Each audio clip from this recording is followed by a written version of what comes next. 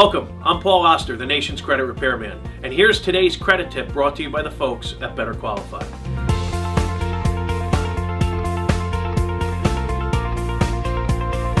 As a certified FICO Pro, I'm often asked, Paul, what's the fastest and easiest way to raise my credit scores?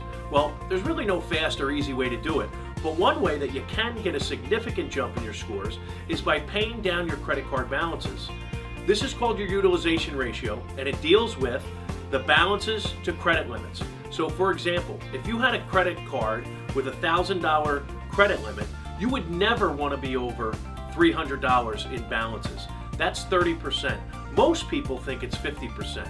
If you're carrying balances at about 50% of your credit limits, that's a good thing. It's better than maxing them out. But if you want to see a significant jump in your credit scores, you have to pay those balances down below 30%. Fair Isaac Corporation, that's where we get our FICO scores from, actually have a designation of high achievers, and that's for folks that pay those balances down below 10%.